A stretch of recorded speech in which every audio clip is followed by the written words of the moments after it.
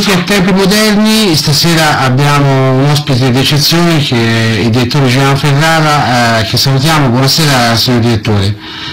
Buonasera, buonasera. Allora, eh, partiamo dalla vicenda Contrada, che è quella più, più, più calda va bene, in questi ultimi giorni. Eh, che cosa ne pensa? È un accanimento? Il Contrada è un marchio della giustizia ingiusta, cioè un uomo che sia stato 10 anni di galera e ha avuto la vita la, la carriera di servitore dello Stato, l'immagine pubblica eh, completamente distrutta da eh, inchieste che alla fine si sono rivelate eh, assolutamente prive di contenuto, a partire dal giudizio delle corti europee secondo cui non era mai il reato per il quale contrarre era possibile.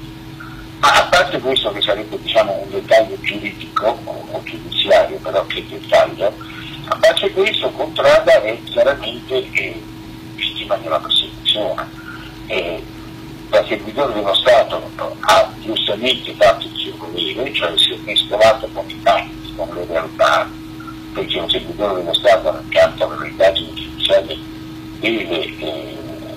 diciamo così, tra virgolette, sporcarsi le mani, deve entrare nel territorio dello storto per affermare lo Stato di diritto e questa cosa è stata rovesciata in una specie di complotto contro la giustizia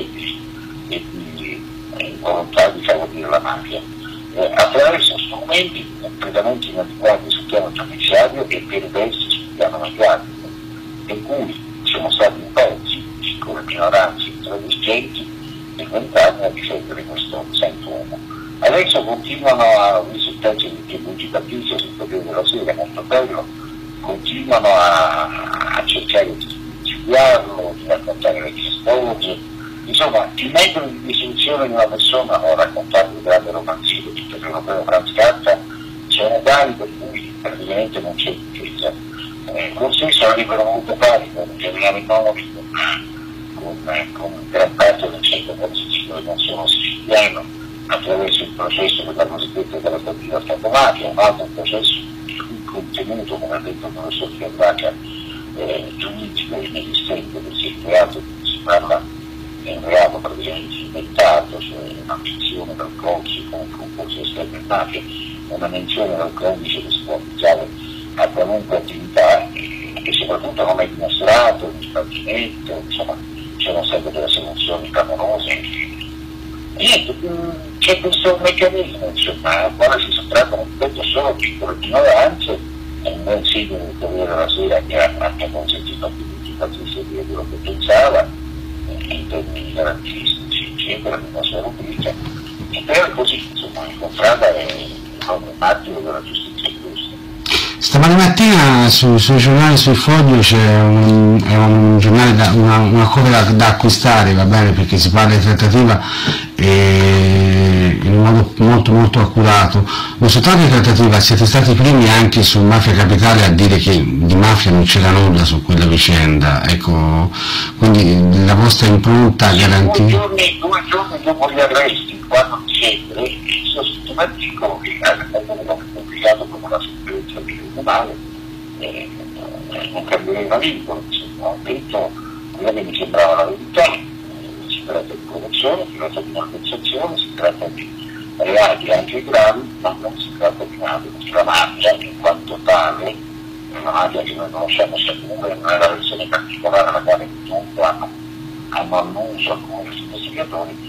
quel tipo di mafia qui a Roma non c'è che mi dicano tecniche, che mi dicano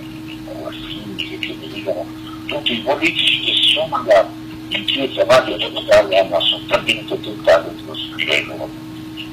e questa è una cosa. Poi naturalmente questo anche abbiamo cercato di dare il nostro, il nostro contributo. Noi abbiamo la fortuna di avere tra i nostri collaboratori un gigante dell'informazione sulla questione della giustizia che si chiama Massimo Pontino. Assolutamente. È un uomo che conosce come nessun altro i processi, così che ha trasmesso per l'arte, dunque li ha sentiti, conosce i verbali, conosce le carte, è entrato diciamo nella integralità dei problemi e li ha svolti con eh, una, una capacità di comunicazione straordinaria. È un uomo, al contrario di me, io sono un uomo di pregiudizi,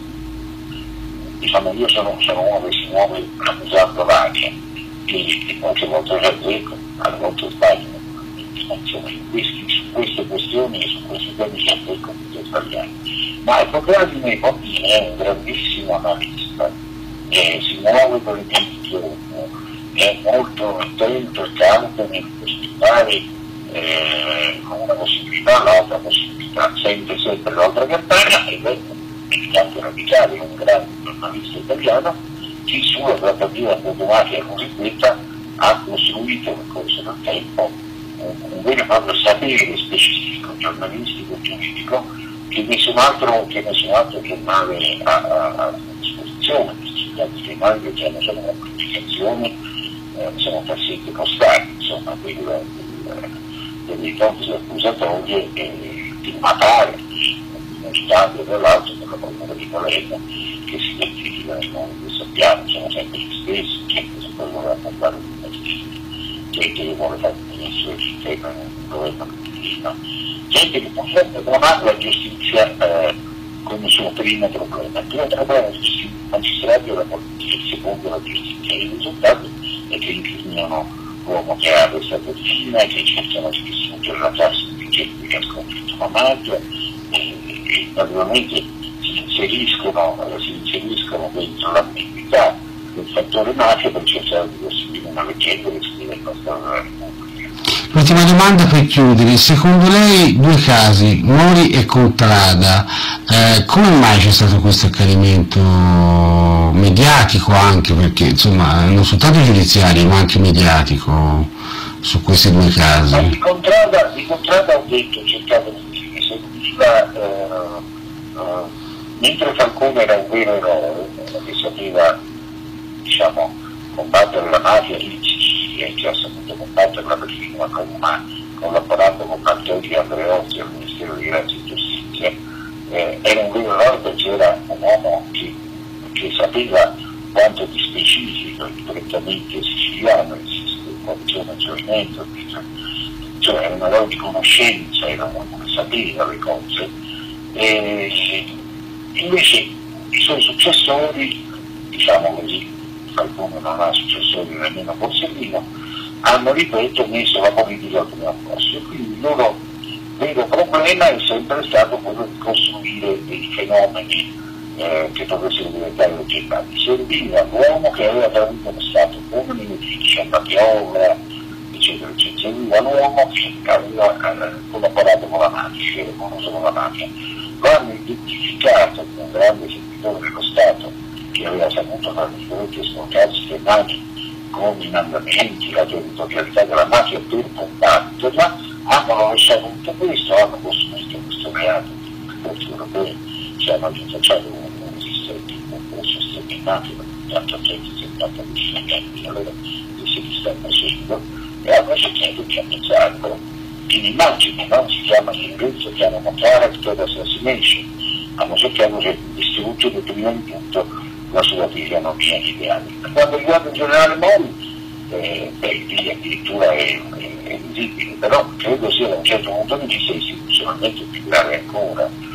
perché il generale si è, si è voluto difendere da solo a mani nude, gli ha fatto bene, gli si è venuto con grande eh, acume e, e diligenza, eh, ha voluto seguire il, il, diciamo, il diritto della giustizia fino in fondo